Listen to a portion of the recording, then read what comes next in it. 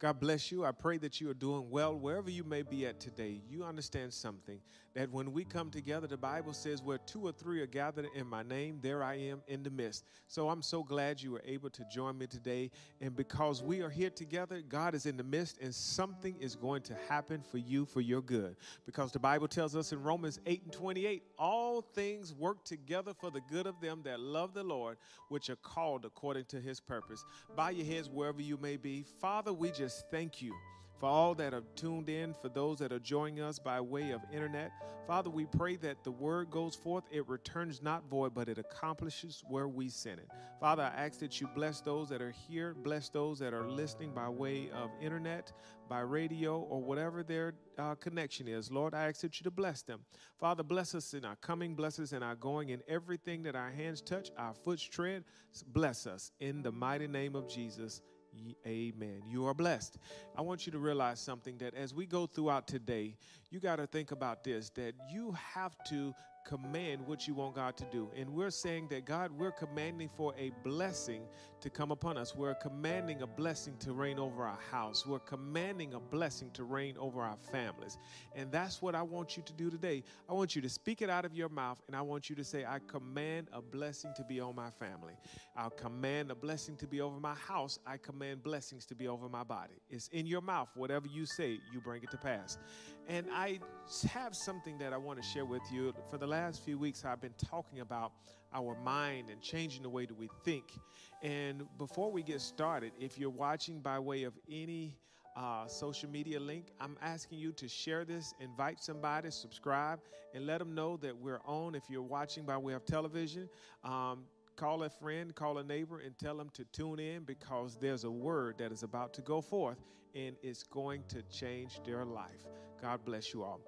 And when we talk about the mind, I'm so reminded of a movie I watched years ago, and it was called Spartans. And one of the things that inspired me about movie, that particular movie, is I'm an action movie guy. I love watching actions. Uh, so if you put me in any type of genre, you can find me in the action section. I love actions. I love fighting. I love uh, seeing how the good go overcome the evil, and sometimes I may how, like how the good guy, I mean the bad guys overcome the good. I mean it's just kind of twisted, but you have to understand my way of movie watching to understand what I'm saying. But um, I want you to realize something that in order to change our mind, it has to be how we look at things, how our outlook is, and how we are um, seeing how we want things to progress. Well, the one thing about the movie The Spartans, uh, a little favorite line of mine in the, in the in the movie, it was saying that either you're going to carry your shield or either you're going to be carried by your shield. And showing that when you go into war, you go into battle, either you're going to use your shield to carry it, or when the battle is over, somebody's going to be carrying you back to bury you with your own shield.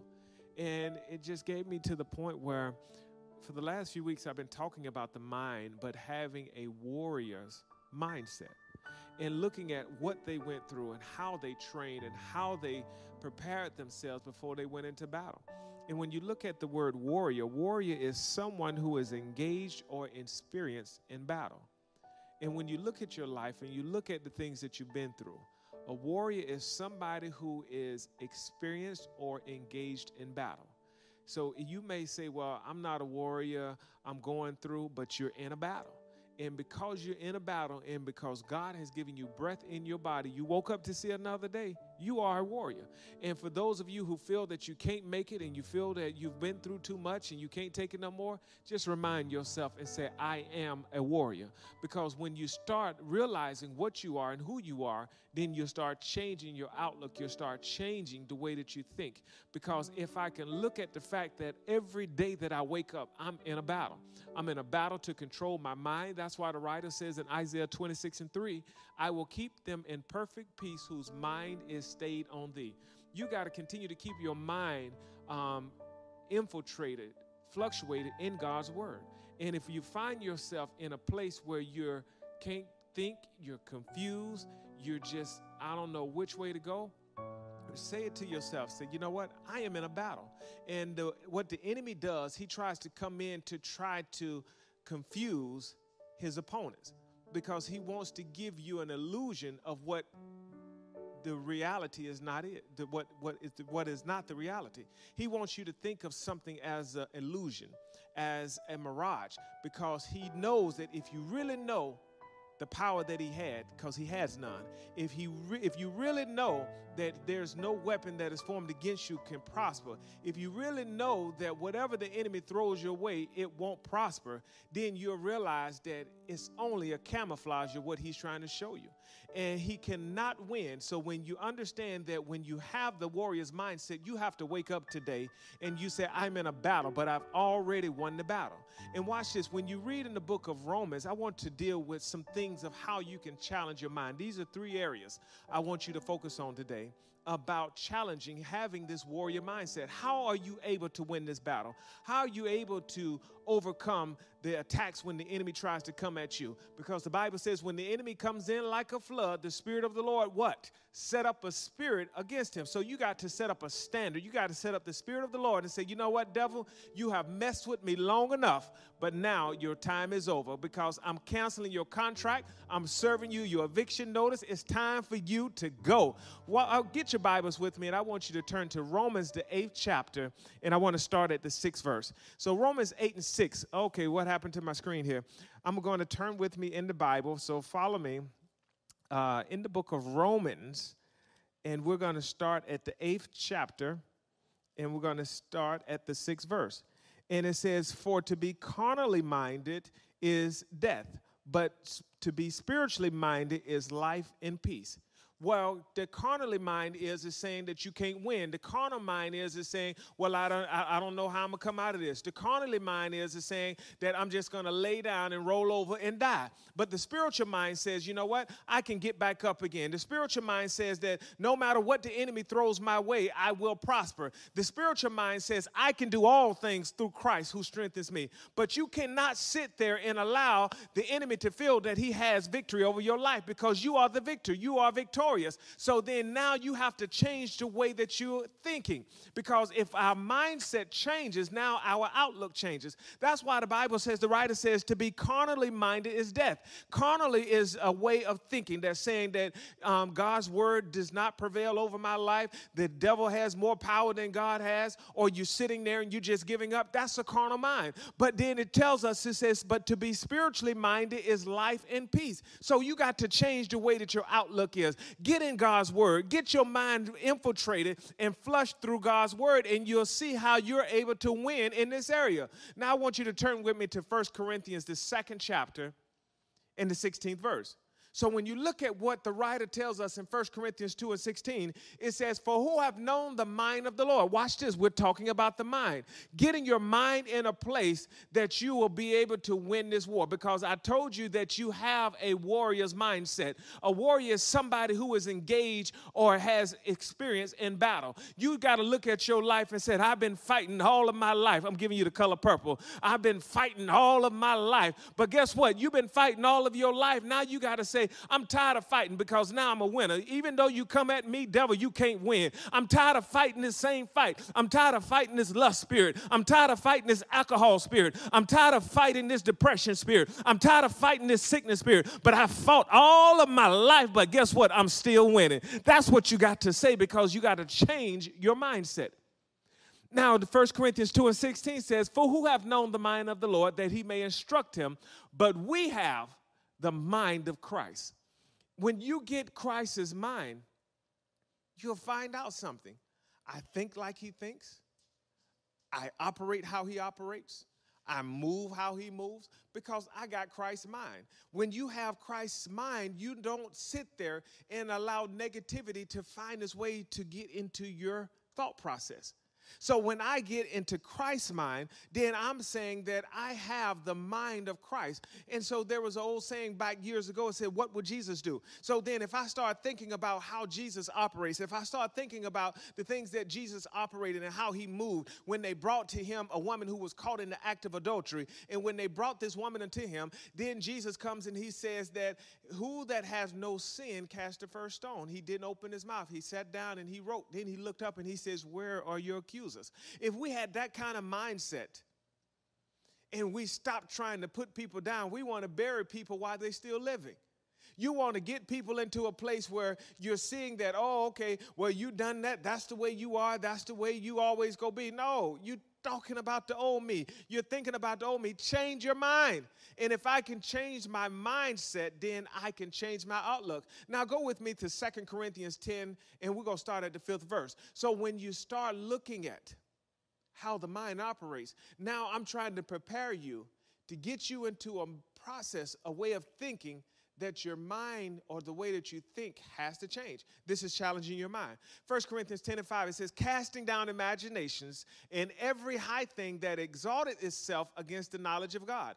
When you cast down imaginations, you're casting down of the things that try to come into you the way that you think. You're, you're casting down, say, wait a minute, oh, that, that thought of sickness is coming back in my mind. Wait a minute, by Jesus' stripes, I am healed. I'm casting it down. That, that, that, that, that mindset of saying, okay, well, this is the way that I used to be, that these are things that I used to, wait a minute, no, I got to cast it down. When you start thinking about the old way, you start going back into old relationships, you start going back to how this person used to make you feel. Wait a minute, uh uh-uh, uh, I'm married now, I'm casting it down. When you start sitting in a place where you start thinking about the things that you don't have, but you forget about all the things that you do have. Look at how far God has brought you. Look at what God has done for you. Look at how you are today and how you were yesterday. Casting those negative imaginations or thoughts, you cast it down.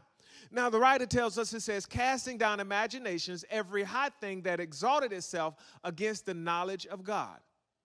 When I start thinking about that word, if I got to take the things that are not right and I'm taking it and I'm throwing it down because the knowledge of God is more wiser than men. So God says, I can do all things, but man says, without God, it's impossible. But then with God, all things are possible. So when I look at the fact that I'm saying, okay, God, if all things are possible with you, and they're impossible without you, well, then I can't think in the natural state of mind. I can't sit here and think about what I don't have. I can't sit here and think about what could be, but what I can think about is saying that you have supplied all of my needs. So no matter what I'm going through, no matter what I may be facing, God, you have given me everything that I need. And that's why when we have this warrior mindset, you got to first of all change your outlook. If I don't change the way that I think, then I'm going to continue to sit there and be defeated before I even start fighting. When you are sleeping, the enemy already is trying to prepare a, an attack, a snare to get you off your course. He already knows that what frustrates you. He already knows of how he can come at you, but then he don't have the authority or the power, the dominion to win over your life. So you got to sit there and you got to say, guess what, devil?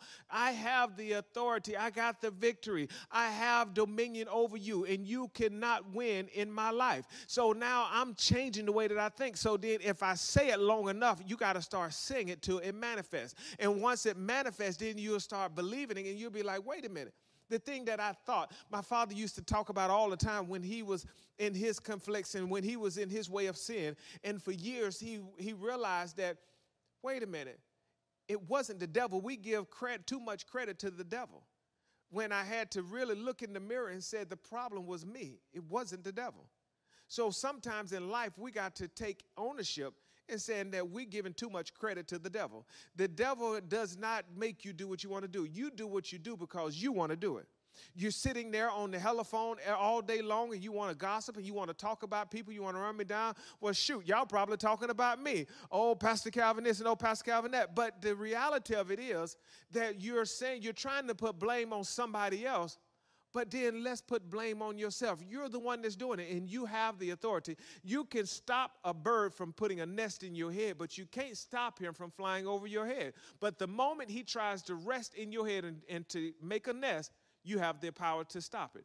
Well, my question to you is today what's stopping you from getting what you need?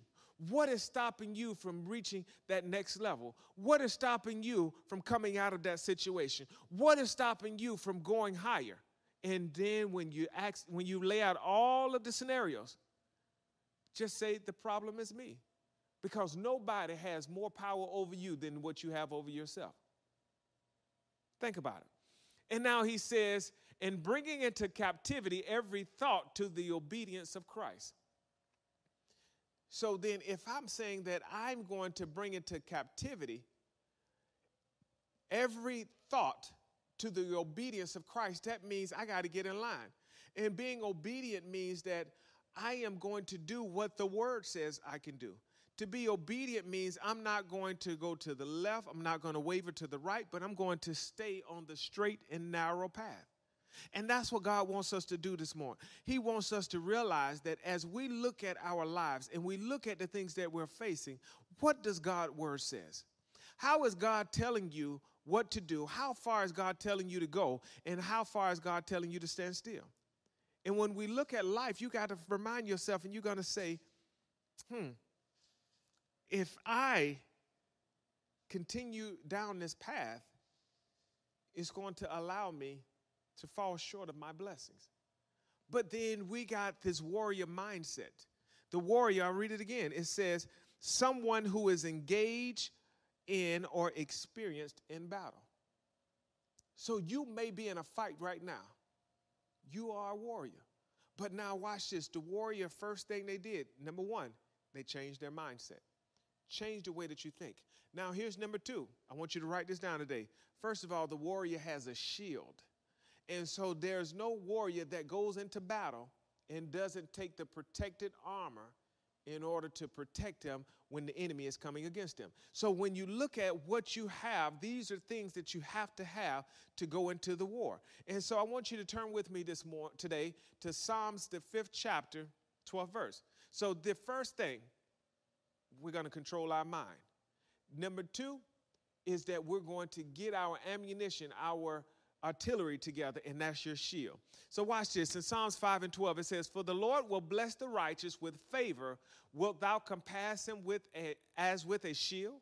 So then God wants to bless us, but then he wants to give us the right artillery, the right ammunition, that as we go into this battle, that we can come in there and say that, God, I need this. You're going to bless me. And so before I even wake up this morning, before I even start my journey, before I even go to this job, before I even start my way, Father, you're going to bless me because you're giving me something to combat the enemy. So as he starts throwing his darts, I just lift up my shield. And so as you're throwing it, it does not touch me. Come on, now watch me. Follow me to Psalms 84 and 11. In Psalms 84 and 11, it goes in what he talks about. He says, For the Lord God is a sun and shield. God is your protector.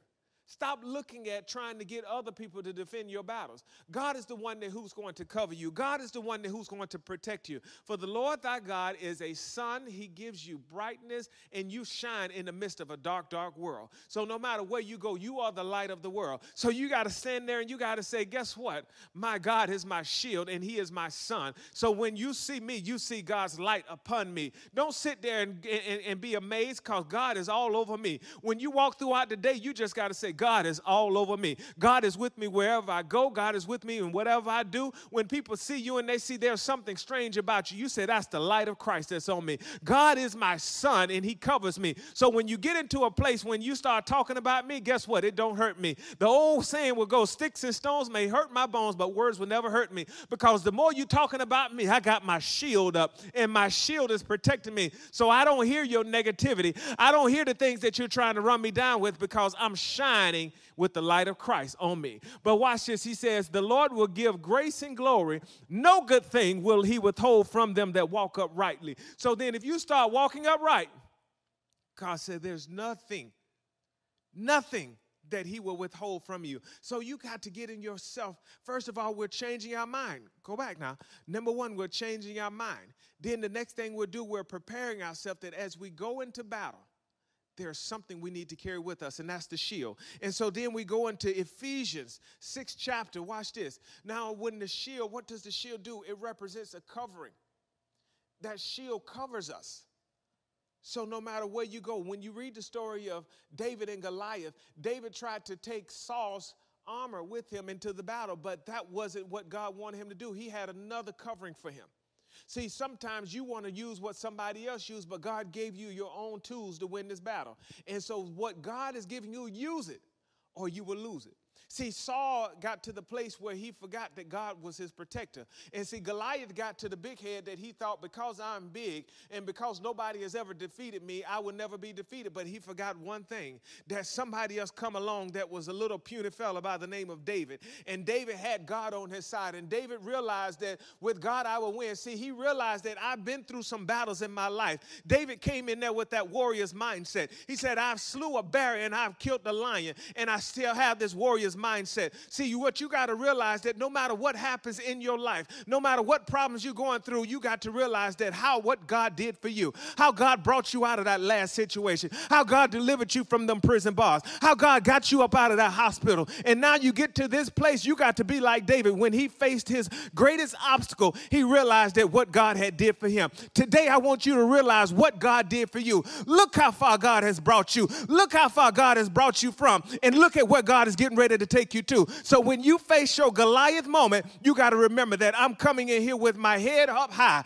I'm coming in here because I got the shield of God on me because God has covered me. He's my sun and he's my shield. And the, what you see shining, you see God all over me. And now somebody need to walk out throughout the day and you got to say, God is shining and he is all over me. Because what you got to know that whatever you're going through today, God is all over you. Now, watch this in Ephesians 6 and 10. And it says, Finally, my brethren, Somebody need to shout with me this morning and say finally. So then enough is enough. Finally mean that that is it. I can't take no more. I done had enough. I'm up to here and now you got to say it's over. Finally my brethren. Be strong in the Lord in the power of his might. Somebody got to say, I got his power. I'm strong enough that I can defeat anything that the enemy throws my way. Finally, my brother, be strong in the Lord in the power of his might. And here we go. And it says that what happens when he goes to the next verse, he telling us, he said, put on the whole armor of God that you may be able to stand against the wiles of the devil. So, what you got to do, you got to put on the whole arm of God. Don't go into battle half cocked. Don't go in there with your mind in a place where you're saying, Well, I'm just going to take this. It ain't that bad. But every time you wake up every day, you got to say, I'm putting on everything that God has given me because I would not go in this battle half cocked. I'm giving the devil everything that I got. When you come at me one way, I'm going to give you to you another way. When you come at me from the left, I'm going to be turning to the right because God, I'm coming into this battle and I'm coming strong. You got to know, say, it's enough is enough. And now you go to the next verse and he telling them what happens. Now he says that for we wrestle not against flesh and blood, but against principalities, against powers, against rulers of this darkness of this world, against spiritual wickedness in high places. You got to understand that this battle is just not in one area. The enemy does not care how he gets you. He don't care how he's coming at you. He's going to try to come at you every which of way he can. But you got to know that you're covered by the blood.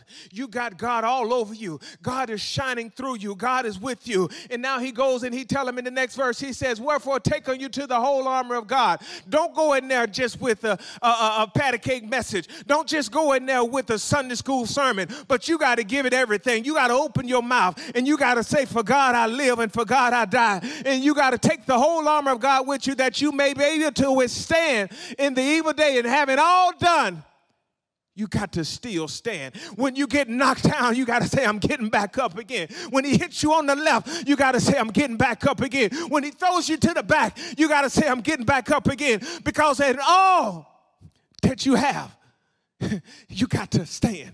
Don't sit there and allow the enemy to have the victory over you. You may be wobbling, but you got to say, I'm standing. I ain't fell down yet. You got to say, I'm standing. But you got to realize that no matter what you're going through in life, you're still standing. But you got to take the whole armor of God because guess what? While you're wobbling and weaving, the enemy is trying to come at you again. But guess what? You're still standing. When he hits you with a left, you got to say, I'm still standing. And you got to look at him in the eye and say, Is that all you got? You got to make up your mind. You say, I'm going to fight. I'm going to fight this thing with everything that's in me. I'm not going to give up. I'm not going to lose my place. I'm not going to give up what God has given me. I'm going to stand and watch this. And he said, Oh, stand. So stand therefore, having your loins girded up about with truth and having on the breastplate of righteousness. And watch this. And then he says, and your feet shod with the preparation of the gospel of peace. And now he goes and he's saying, above all, taking the shield of faith wherewith you shall be able to quench all the fiery dots of the wicked. So as he coming, take your stance and say, I got my shield. And as you got your shield, imagine you're covered. All of this is covered. And you're taking possession and you're positioning yourself and you're saying, Come on, devil. I'm ready to fight. You got to have that warrior's mindset. I told you when I watched the movie The Spartans, they said either when you go into battle, either you're going to carry your sword or you're going to be carried by your shield. So then you can't sit there and say that I'm going to allow the enemy to have victory. I'm, I'm carrying my shield. I'm not going to allow my shield to carry me.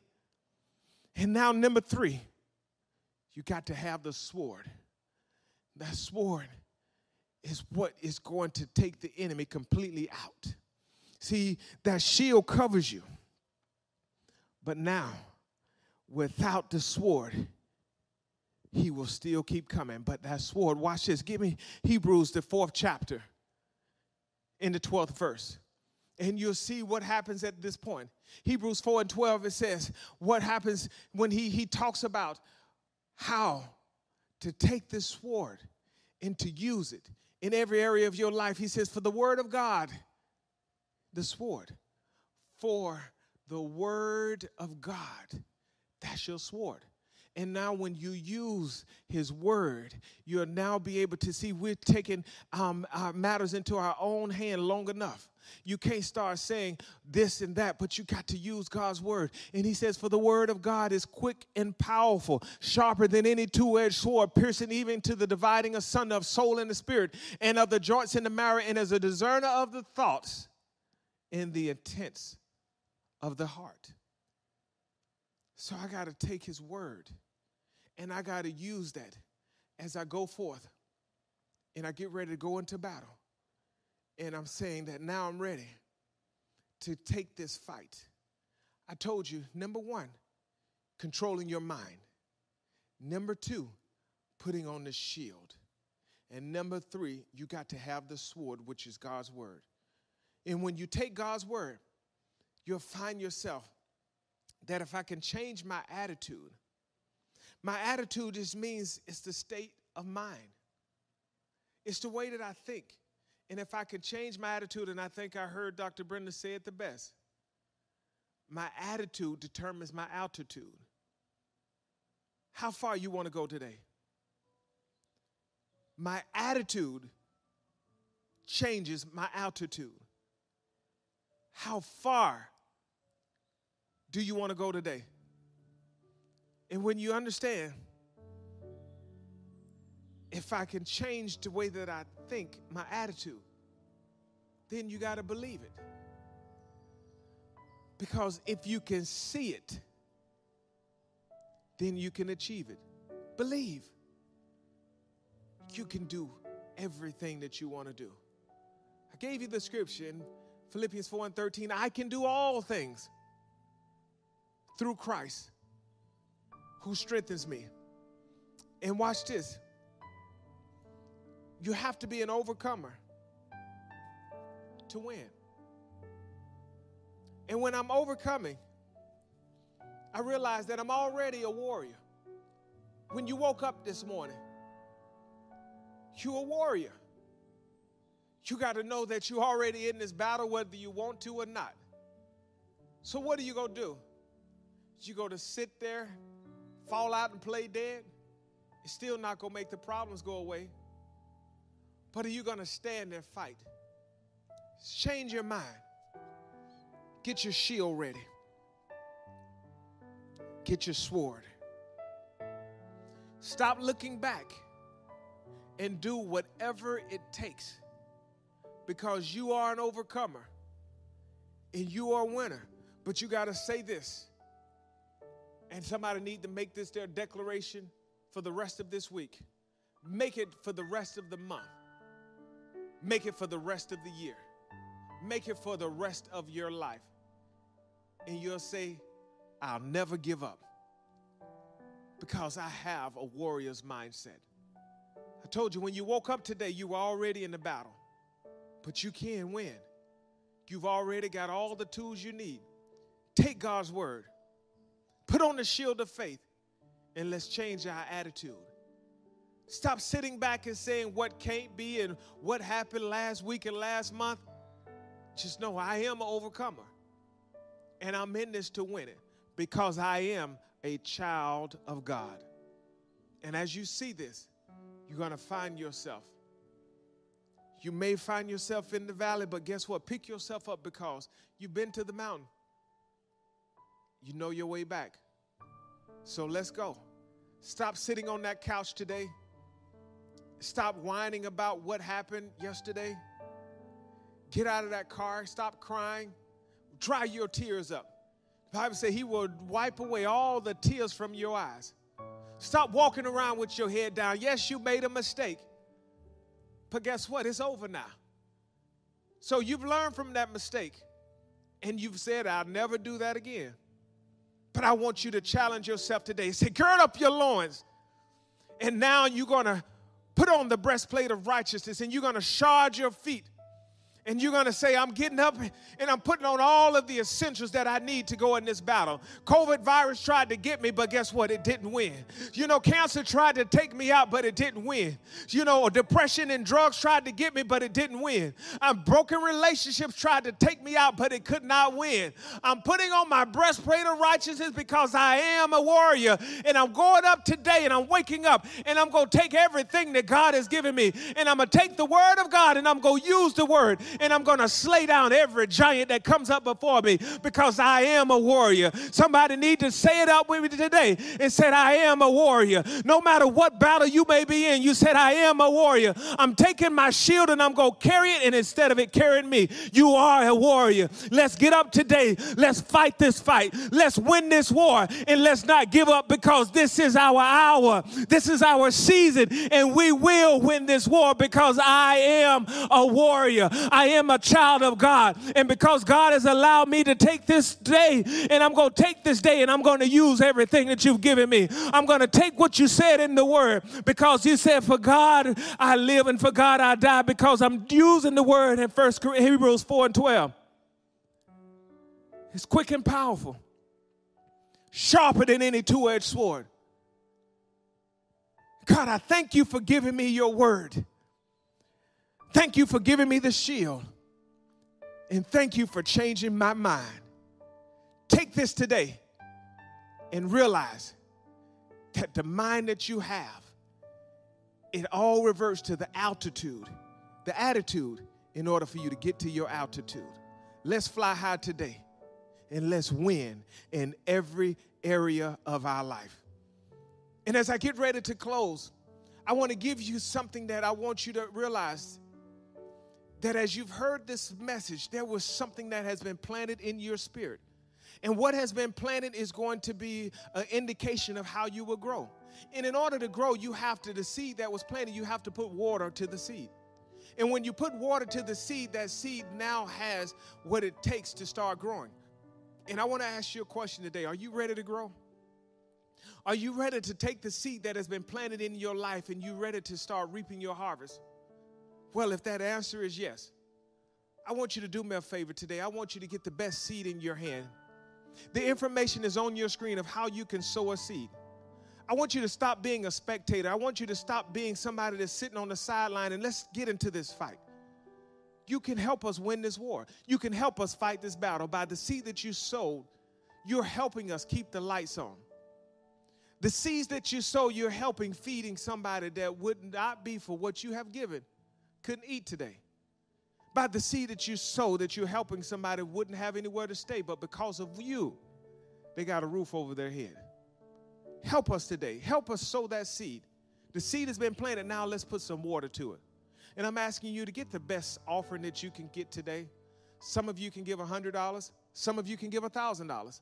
But whatever you can give, I want you to give it now. Be guilty of giving and put water to the seed. And as you do it, the Bible says, except the corn of wheat falls into the ground, it dies. But when it dies, it's going to be alone. But because it's alone, it's going to bring forth much fruit. So, yes, you, I'm talking to you, your seed can make a difference. Stop worrying about what everybody else is doing. Stop worrying about who's not doing, but I'm talking to you. Make a difference today and be a blessing to help us continue to take ministry and do the work that God has called us to do. God bless you, and I love you. And there is nothing you can do about it.